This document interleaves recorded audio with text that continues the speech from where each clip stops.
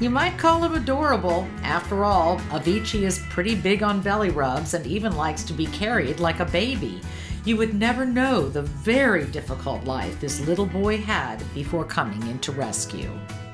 His name is Avichii, which um, was given to him by his rescuers in Kosovo.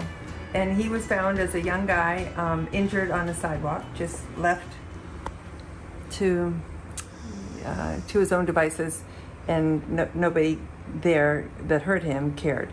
Kosovo is in the Balkans region in southeast Europe. Many dogs are abandoned and live on the streets there. A rescue group in Kosovo sent Avichii to a rescue in Maryland, but in short order, he got loose from his foster family. He ran around in Halethorpe for two and a half weeks. Somebody in the neighborhood where he escaped saw um, him being hit by a car. We, all of our volunteers raised about $5,000 to have his leg repaired, and he's been perfect. He is a friendly, sweet little guy, about three years old. Um, he knows some commands. He's house trained. He's never had an accident in the house. That's a good boy, Ben. Avichii is available for adoption through TRU Rescue.